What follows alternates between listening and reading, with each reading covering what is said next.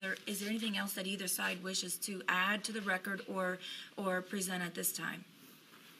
I believe Mr. Cruz wanted to make a statement to the court and to the victims present in the courtroom.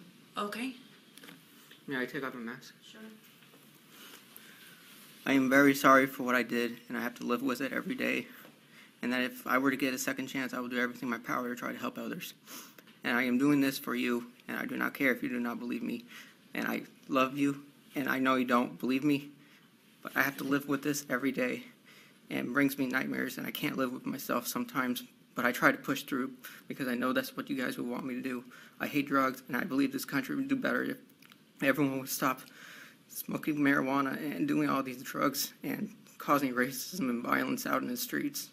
I'm sorry, and I can't even watch TV anymore.